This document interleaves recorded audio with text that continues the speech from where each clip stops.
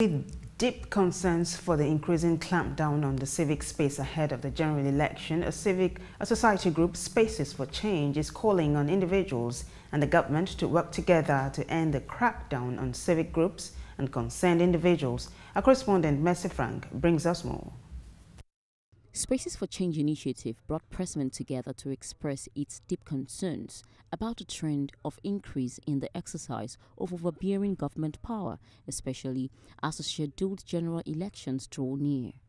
The documentation shows that regular targets of these crackdowns range from journalists, social critics, NGO workers to activists.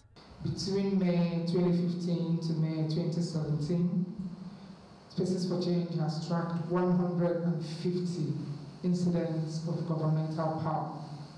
Documentations show that the regular targets of these crackdowns range from journalists to NGO workers to social critics to bloggers to activists challenging official corruption, human rights abuses, environmental injustices, and so forth. Out of the 150 cases we tracked, 56 were journalists. 21 were involved in public protest.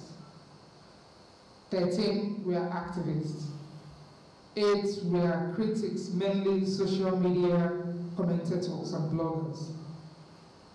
16 were just active citizens that are vocal in offline and online spaces.